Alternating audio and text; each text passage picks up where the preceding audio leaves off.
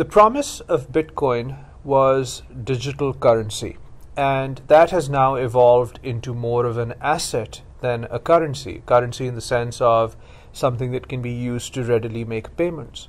But Bitcoin is really becoming more of a an asset that maintains, holds value, and then continues to increase in value over time uh, due to built in algorithmic scarcity. But the real contribution of Bitcoin was opening everyone's eyes to the power of the blockchain. A decentralized structure, a decentralized database that could be immutable. In other words, whatever you write into it could not be changed after that record was entered. It could be updated, but you would see the entire chain of how a record or a value evolved over time.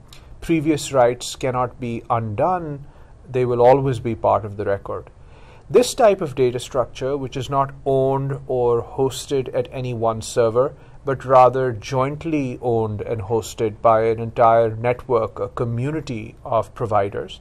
And secondly, where these participants on the Bitcoin network don't require industrial grade or commercial grade hardware and networks to be a node for the blockchain.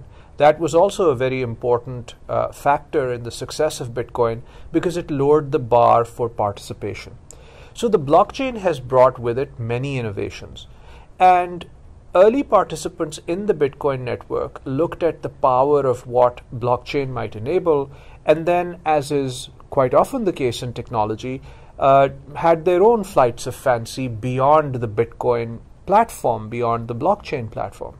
And one such project, one such team was the Ethereum team.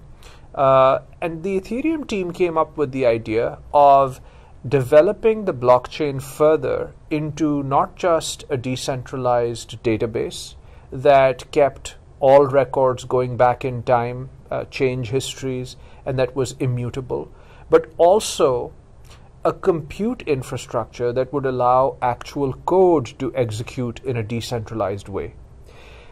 This evolved into the idea for a world computer a world computer in the sense that it would be a computer made up of individual nodes, individual computers, relatively low end computers, that would all be connected on networks of different types with different latencies and different amounts of bandwidth. And all of them collectively would contribute to the Ethereum capacity.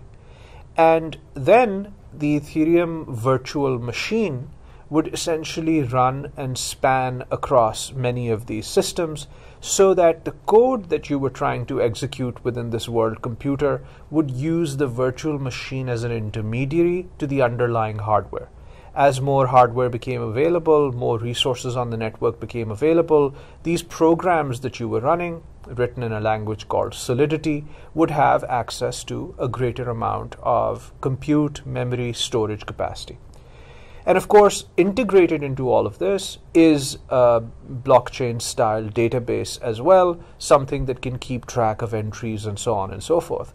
But again, with Bitcoin, we got decentralized storage. With Ethereum, we got decentralized storage plus world computers, uh, this idea of global computation on a decentralized network. Now, if you zoom out and you look at the technological contribution of something like this, one might argue that in distributed systems, a lot of work has been done on message passing, on resource pooling, resource sharing, shared file systems, but arguably also the amount of um, participation, the level of scale of the Ethereum network is probably unprecedented. So there are definitely technical contributions of a significant nature, not to mention all the cryptographic cleverness that secures such a network against attack and protects data and so on and so forth.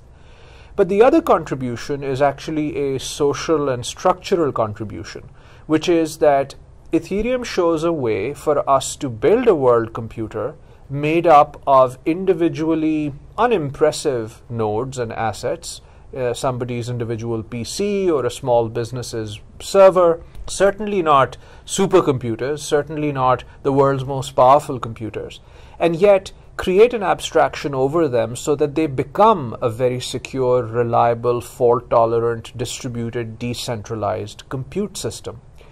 This, in many ways, could be an alternative to the centralized cloud architecture, where a small number of companies own essentially all the meaningful data centers in the world, where maybe four or five companies become the only platforms on which startups and even large businesses deploy and deliver their software and their solutions.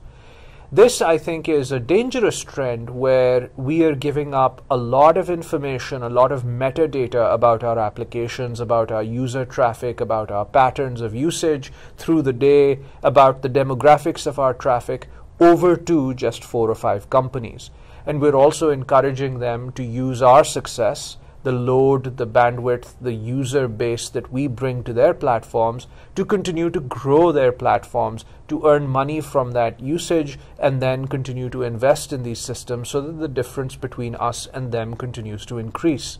So, structurally, centralized computing in a world where all computing is now a big chunk of the economy and will become an ever larger percentage of the global economy, this is a dangerous phenomenon. With decentralized systems, we can actually live in a world where individuals can contribute computation, where we can have a world computer that can be used to deploy applications, and most interestingly, have people that are, have contributed their resources to this world computer be compensated for that contribution.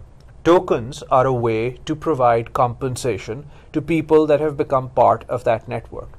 And the dream, the goal of Ethereum was to build exactly such a world computer which would utilize what are called gas fees, small payments, small crypto payments, uh, in order to make use of resources. And those payments would go back to people that have contributed the capacity, the computational infrastructure to enable the world computer to begin with. So everyone theoretically can now participate in this network. You don't need supercomputers, you don't need tremendous amounts of capital, you don't need to be like Microsoft or Google or Amazon and buy you know billion dollar data centers you can be an ordinary person and you can contribute capacity that will have uh, uh, a payment associated with it that will make your computer a source of income for you while also not ceding overall control to just one, two, or four companies. This is a good thing. But now let's come to the practicality of why something like Ethereum in its current form really can't deploy applications at scale and really can't support latencies and modes of operation that people expect, say, of a web app. Now, technically could you deploy an ethereum web app as part of a smart contract and every time you go to a browser it uses a plugin or an external service to resolve your um, ENS uh, name which is a crypto name service uh, to a particular address then go to that address or load something from the blockchain and try to invoke a smart contract get some content back from that smart contract and render it in a browser. Could you do that? Yes, you could. Would it be tremendously slow? Yes, it would. Would it be tremendously expensive? Probably it would because the way that the Ethereum network is set up right now, small transactions, just making an entry into a database, into the ledger, those things are tolerable. You can pay gas fees and that kind of works. But when it comes to running smart contracts as programs, as full fledged website um, you know, uh, components, then at that point you start uh, uh, spending gas fees that make the entire system impractical. So this is to say that the idea of a world computer, a decentralized system like the one that Ethereum has envisaged, that is a global good. But there needs to be a lot more work done in order to scale these systems up to where they will support near real time application uh, execution, near real time application uh, interfaces, and interchanges with the user. Uh, it's got to be to the point where it's running like a website runs. Now, a website is centralized, yes. So we need to move to a decentralized architecture, but we can't penalize uh, end users and we can't ruin the end user experience in doing so. Now, there are lots of areas to explore for people interested. For example, how really do you do decentralized name services? How really do you do the deployment of code that can be executed at a variety of nodes uh, in a secure way, in a way that prevents that code from being modified? And also, how do you distribute data that the code needs to operate on in a secure way to a variety of nodes that might be contributing to the computation that uh, causes that code to run. How will you solve problems of this type? Now, luckily in computer science, there are already many algorithms, mechanisms, systems that have been built, uh, maybe at smaller scale, but algorithmically still very sound, that address some of these problems. In my view, the next few years of engineering in the crypto space, in the decentralized or Web3 space as it's called, will have to focus on infrastructure challenges around speed, ease of deployment, and scalability of application execution inside the decentralized structure, inside the decentralized world computer itself. The concepts are there, the intent is there, the community is there, but the performance and the code that will enable what we need is not yet there.